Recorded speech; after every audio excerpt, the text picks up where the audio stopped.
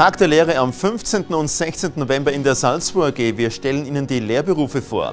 Versorgungssicherheit, Molchung der Erdgasleitungen erfolgreich abgeschlossen und Salzburg AG exportiert Strom nach Bayern, genauer gesagt nach Berchtesgaden. Und wie das funktioniert, das zeigen wir Ihnen gleich.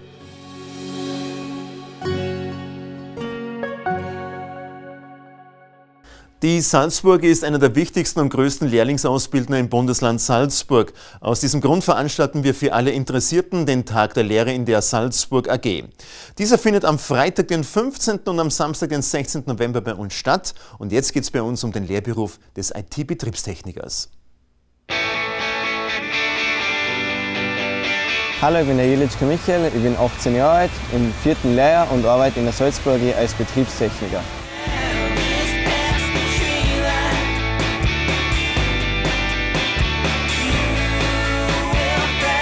Also in meiner Lehre lerne ich, wie man Sachen skriptet oder wie man Drucker einrichtet, generell auf Netzwerk- und Serverbasis. Ich lerne, wie man Rechner installiert, wie man die ganzen Komponenten nennt und zusammenbaut.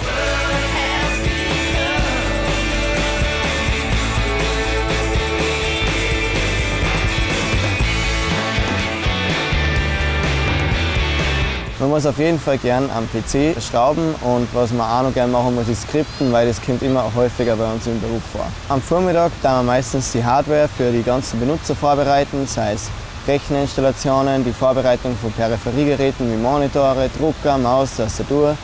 Und am Nachmittag werden wir dann hauptsächlich das Zeug zu den ausliefern und nochmal durchtesten, ob alles funktioniert.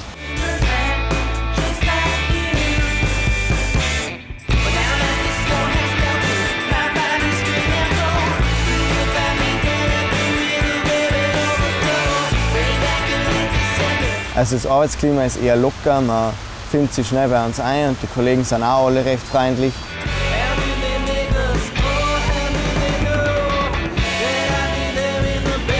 Mein Ausbildner der hilft mir immer gern weiter, wenn ich irgendwelche Probleme habe. Der zeigt mir alles sofort und der kann mir immer weiterhelfen, wenn ich irgendwelche Fragen habe, kann ich ihm jederzeit fragen.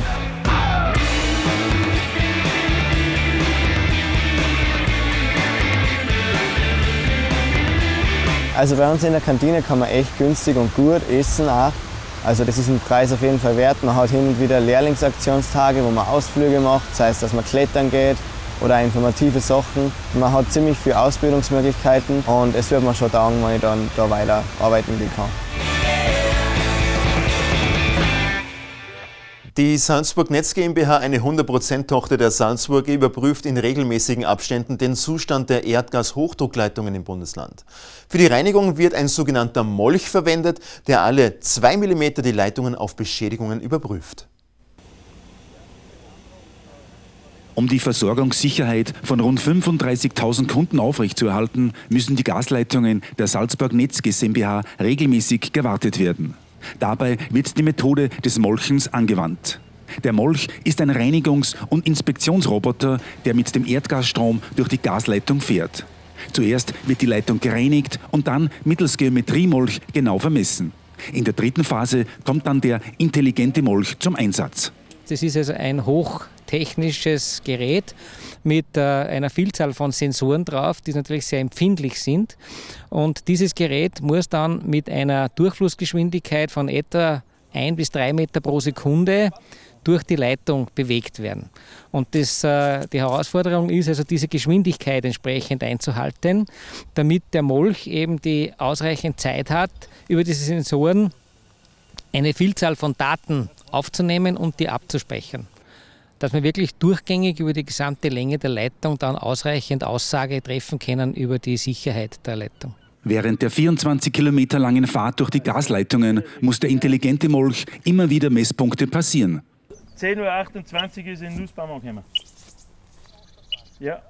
Okay. Das ist Opfern von äh, die Daten bzw. Ähm, von den Messpunkten ist deswegen wichtig, ähm, dass man den Molch nachverfolgen kann und äh, man in gewisser Weise auch weiß, wie schnell äh, oder langsam dass der Molch unterwegs ist und dementsprechend eingreifen kann. Mit einer Geschwindigkeit von 2 Meter pro Sekunde misst der Roboter alle 2,5 Millimeter die Leitung auf Beulen, Wandstärkenunterschreitungen durch Korrosion und auf Risse. Grundsätzlich die Messeinheit ist eine Magneteinheit. Ja, die, die Pipeline wird magnetisiert und das Magnetfeld ist theoretisch in dem Metall immer gleich. Und sobald sich was verändert, das heißt die Struktur im Metall verändert oder sonst was, ändert sich das Magnetfeld und das messen wir halt und dadurch können wir sagen, genau da ist Korrosion oder ein Riss, eine Fehlbildung, irgendwas.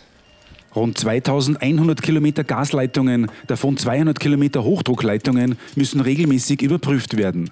Die Schutz- und Sicherheitsmaßnahmen beim Öffnen der Leitungen sind natürlich sehr groß. Wir haben es natürlich mit Erdgas, mit einem explosiven Medium zu tun. Und sobald wir also die Leitung öffnen oder auch den Molch in die Schleuse hineinfügen und herausnehmen, haben wir kurz mit Gasaustritten zu tun. Aber unsere Leute sind entsprechend geschult und unterwiesen, dass es da zu keinen Komplikationen kommen kann.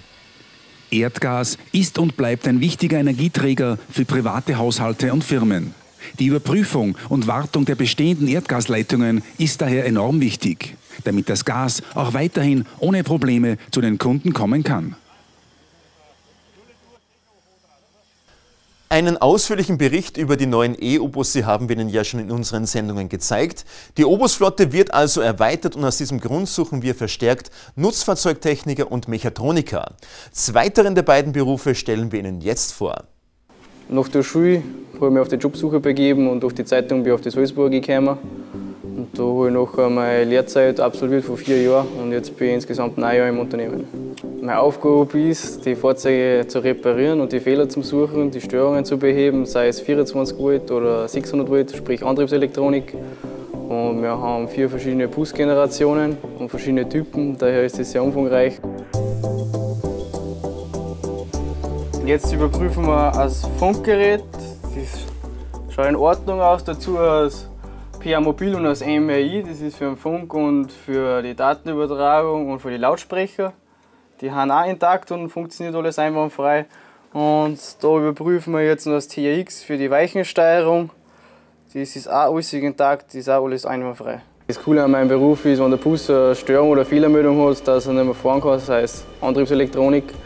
Wenn man den nachher findet und das Fahrzeug wieder aussieht auf Linienbetrieb, ist eigentlich ein relativ gutes Gefühl.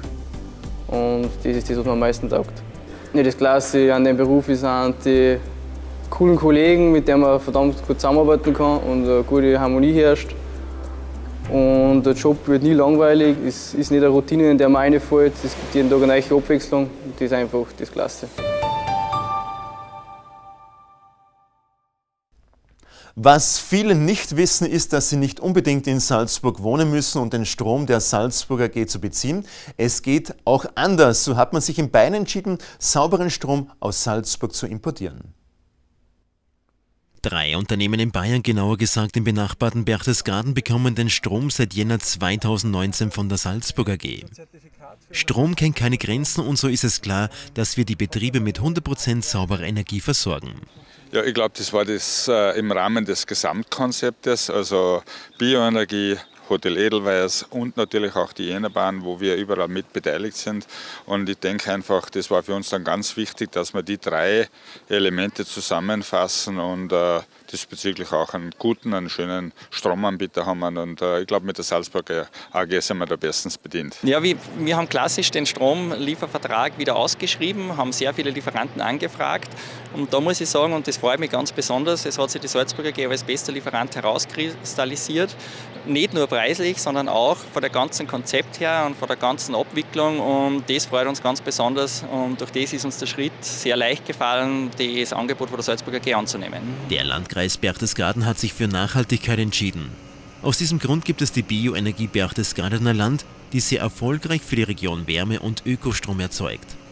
Drei Gemeinden werden derzeit versorgt und die Einsparung an CO2 ist beträchtlich.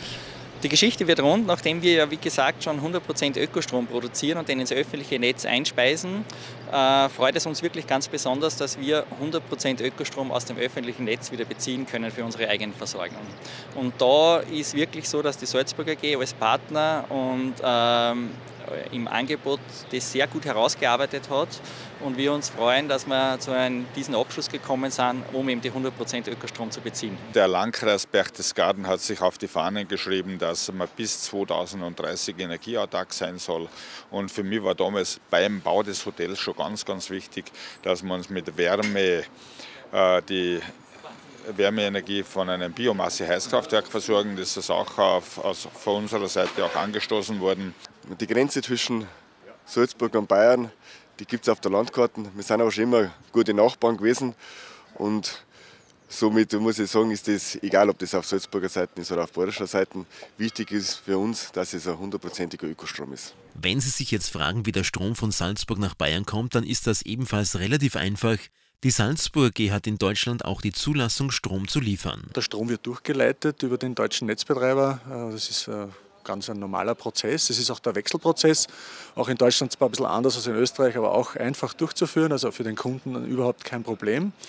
Und ähm, dass jetzt der Salzburger Strom nach Deutschland kommt, das geht eben über diese Zertifikate, äh, die wir der der Salzburger Wasserkraft ja zuordnen. Und durch die Bezahlung der Stromrechnung des Kunden an die Salzburger AG werden natürlich die Salzburger Kraftwerke unterstützt und damit auch äh, finanziert. Wie auch Sie Strom von der Salzburger AG beziehen können, finden Sie wie gewohnt auf unserer Website. Das Projekt in Berchtesgaden läuft seit Anfang Jänner perfekt und zur vollsten Zufriedenheit unserer Kunden. Alle Informationen zur Sendung finden Sie natürlich auch im Internet unter www.salzburg-ag.at und weil wir gerade beim Internet sind, die Salzburg AG ist laut PC Magazin bester regionaler Internetanbieter. Das ist aber nicht die einzige erfreuliche Nachricht für Sie, denn alle bestehenden Cabling-Kunden bekommen ab jetzt automatisch mehr Internet zum gleichen Preis. Viele Seiten der Salzburger Lebensqualität haben ihren Ursprung in der Salzburg AG. Wo sauberer Strom fließt und wo Wärme weiterdenkt. Wo Mobilität jedes Ziel erreicht. Wo ein ganzes Land vernetzt ist. Alles für zufriedene Kunden und alles aus einer Hand. Salzburg AG, wo Zukunft ins Leben kommt.